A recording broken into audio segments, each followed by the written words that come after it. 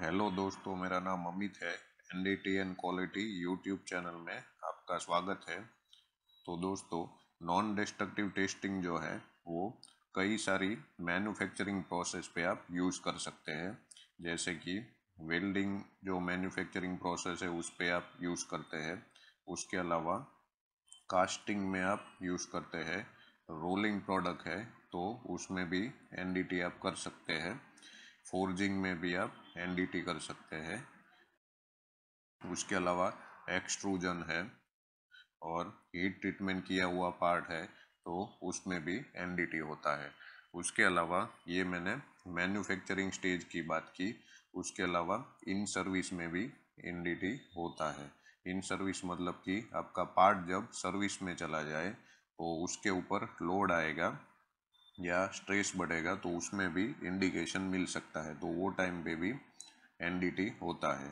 तो इन सब manufacturing process में आज हम कास्टिंग रिलेटेड एनडीटी देखने वाले हैं। मतलब कास्टिंग प्रोसेस जो है वो कैसे होता है और उसमें NDT की क्या क्या रिक्वायरमेंट रहती है। मतलब कि कौन कौन से एनडीटी मेथड जो है वो आप कास्टिंग में यूज़ कर सकते हैं।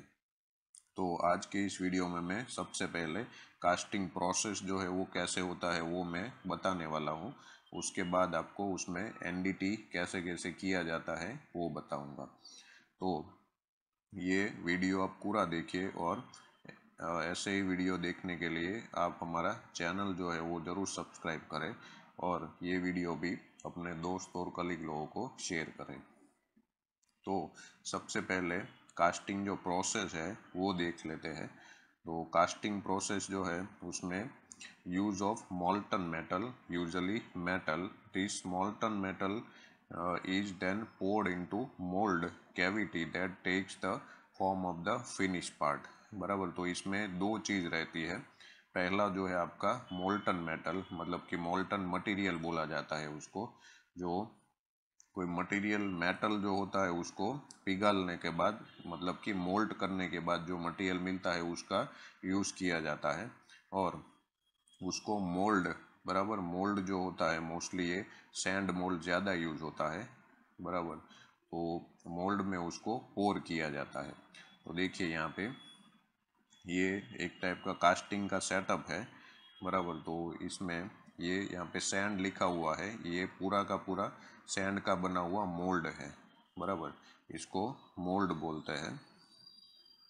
और यहाँ से आपका मोल्टन मेटल जो है वो पोर किया जाता है। मोल्टन मेटल पोर करने के बाद उसको सॉलिडिफाई किया जाता है मतलब कि उसको सॉलिडिफाई हो तब तक उसको रखा जाता है और उसके बाद सॉलिडिफिकेशन होने के बाद ये जो सैंड का मोल्ड जो है उसको रिमूव किया जाता है और ये आपका पार्ट जो है, यहाँ पे आपका फाइनल पार्ट जो है ये आपको मिल जाएगा। बराबर ये होलो कास्टिंग है। तो ऐसे करके आपको फाइनल कास्टिंग जो है वो मिलेगा। बराबर, ये आपका रनर और राइज़र दिया हुआ है। बराबर तो राइज़र जो है उसका यूज़ ये है कि यहाँ पे मटेरियल जो है ये पूरा फिल हुआ है कि नहीं, यहाँ से आप पता चल जाएगा। रनर जो है तो रनर थ्रू आपका मोल्टन मेटल जो है वो पास होता है। और फाइनली वो गेट में जाएगा और गेट थ्रू आपके ये पार्ट जो है, फाइनल जो आपका पार्ट जो बनने वाला है, वहाँ पे आपका मोल्टन मेटल पोर होगा। और ये इतना जो पोर्शन है, यहाँ से ये पोर्शन, बराबर ये बाहर का जो पोर्शन है, बराबर उसको भी बाद में ग्राइंडिंग या कटिंग करके निकाला जाता है। तो फाइनल जो आपका पार्ट है, वो ये पार्ट है, बराबर। ये आपका पार्ट कास्टिंग वाला पार्ट है। और ये बीच में कोर जो लगाया हुआ है, बराबर ये होलो पार्ट के लिए कोर लगाया हुआ होता है। उसको भी बाद में निकाला जाता है। तो ये टाइप से पूरा कास्टिंग का प्रोसेस रहता है। ये मैंने होलो कास्टिंग का फिगर दिखाया है। ऐसा सॉलिड कास्टिंग भी आप बना सकते हैं।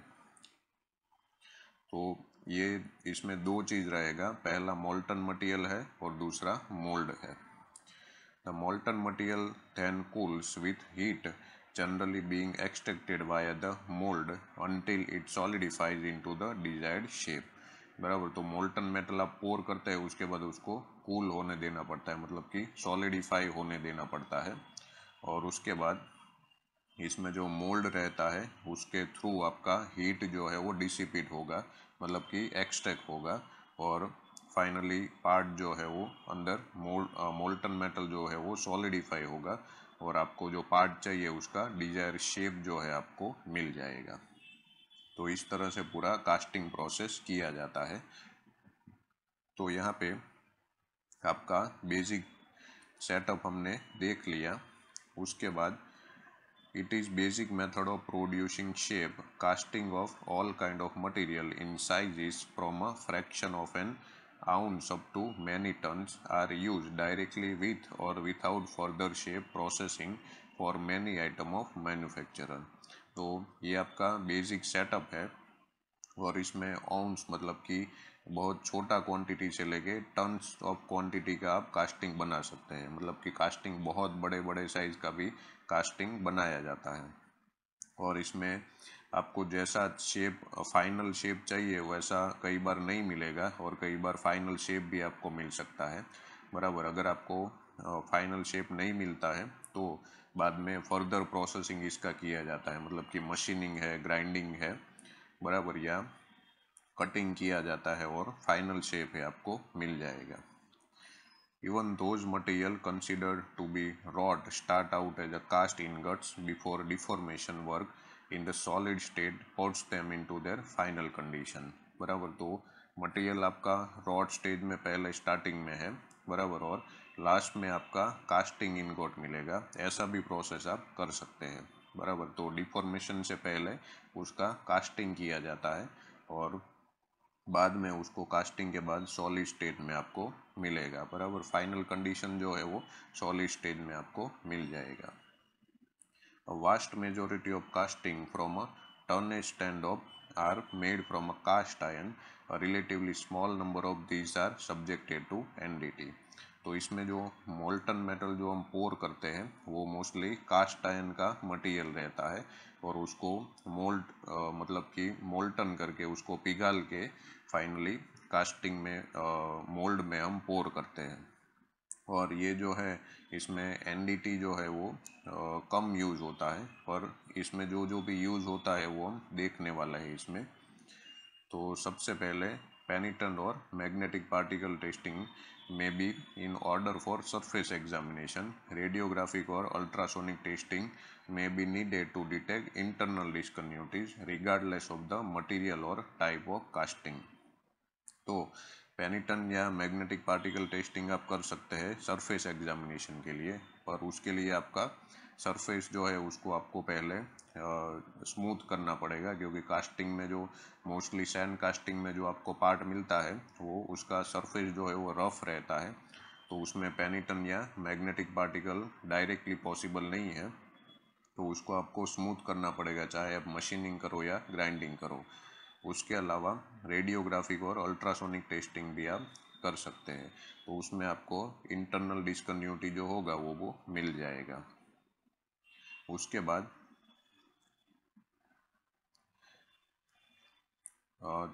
रेडियोग्राफी का दिया हुआ है यहाँ पे। बराबर, उसके बाद radiography is the most widely use method for casting examination it can be difficult to accomplish complete coverage of complex casting image evaluation is usually by comparison to standard reference images for various type of discontinuities तो radiography है, वो ज़्यादातर use होता है, बराबर, क्योंकि इसमें आपको इंटरनल इमेज पूरा कास्टिंग का मिल जाएगा। और इसमें एक ड्रॉबैक है कि कॉम्प्लेक्स कास्टिंग है, बराबर मतलब कि शेप है, उसका इरेग्युलर है तो इसमें कंप्लीट कवरेज आपको नहीं मिलेगा। उसके अलावा इसमें जो इमेज एवेल्यूएशन है, बराबर उसके लिए आपको स्टैंडर्ड रेफरेंस इमेजेस का भी यूज़ करना पड़ेगा, क्योंकि रेडियोग्राफी में बहुत सारा इंडिकेशन आपको मिलता है। बराबर वेल्डिंग में आपको पता होगा कि टोटल मिलाकर दस या पंद्रह इंडिकेशन जो है वो ज़्यादा मिलता है। पर कास्टिंग की बात करें तो रेडियोग्राफी में साठ से सत्तर टाइप का इंडिकेशन मिलता है। तो इसके लिए आपको कई बार रेफरेंस स्टैंडर्ड का भी यूज़ करना पड़ता है।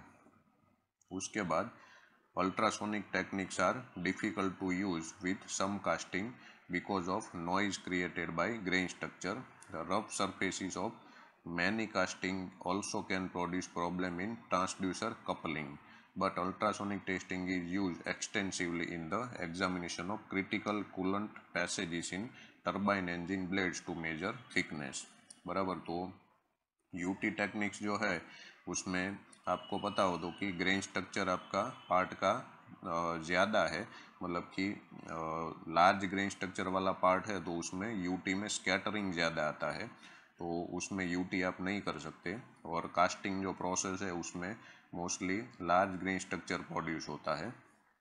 तो उसके कारण आप इसमें यूटी जो है वो डिफ़िकल्ट है। बराबर पर ऐसा नहीं कि हर बार आप नहीं कर सकते। वो कास्टिंग का पार्ट के ऊपर डिपेंड है। तो कई बार इसमें आप सरफेस जो है रफ नहीं है सॉलिड सरफेस है मतलब कि स्मूथ सरफेस है तो आप आ, कर भी सकते हैं यूटी उसके अलावा ट्रांसड्यूसर जो है, उसका कपलिंग में भी आपको ध्यान रखना पड़ेगा। मतलब ये जो आप कपला, कपलांट यूज़ करते हैं, अगर बहुत रफ सरफेस है तो उसमें कपलांट जो है, वो आपको ज़्यादा विस्कोसिटी वाला कपलांट यूज़ करना पड़ेगा। उसके अलावा यूटी का यूज़ करके आप थिकनेस मेज़रमेंट भी कर सकते हैं, बराबर। तो इसमें एक एग्जांपल दिया हुआ है कि आप टरबाइन का जो इंजन है, बराबर उसका, उसमें जो ब्लेड रहता है उसका थिकनेस मेज़रमेंट के लिए आप यूटी यूज़ कर सकते हैं। तो ये जो टर्बाइन इंजन ब्लेड्स जो है वो कास्टिंग का बना हुआ होता है। उसके अलावा इलेक्ट्रोमैग्नेटिक टेस्टिंग में एडी करंट जो टेक्निक है और परमानेंट मेथड है सॉरी पेनिटन मेथड है, बराबर ये सब यूज़ कर सकते हैं आप। तो eddy current and penetrant method are also use to detect leading and trailing edge crack before and during service of the turbine blade.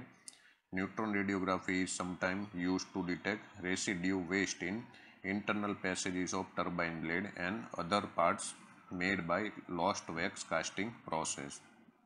तो इसमें तीन प्रोसेस दिया है टरबाइन ब्लेड का आपको एनडीटी करना है बराबर जो कास्टिंग पार्ट है टरबाइन ब्लेड तो उसका आपको एनडीटी करना है तो एडी करंट आप यूज़ कर सकते हैं पेनिटन मेथड भी यूज़ कर सकते हैं तो इससे आपको एज क्रैक जो है वो मिल जाएगा। मतलब कि ऑलमोस्ट सरफेस के ऊपर एज के ऊपर क्रैक है तो आपको मिल जाएगा।